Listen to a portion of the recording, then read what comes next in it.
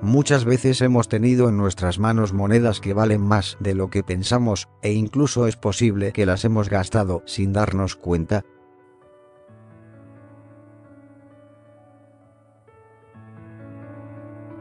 Es el caso de la moneda de 10 pesos de gráfila invertida, una curiosa emisión de la moneda de uso diario que fue emitida en 2007.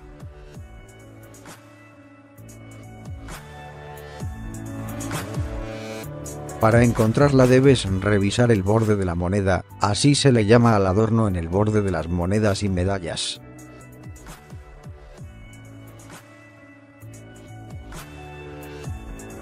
Notarás que comúnmente, las monedas de 10 pesos presentan un dibujo similar a una letra J que va en sentido a la derecha.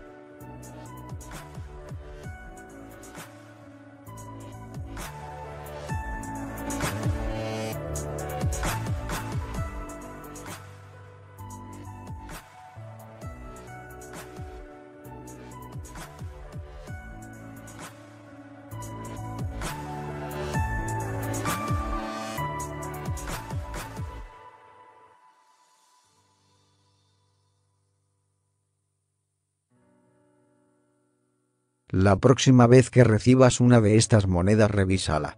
Podría valer más que su denominación.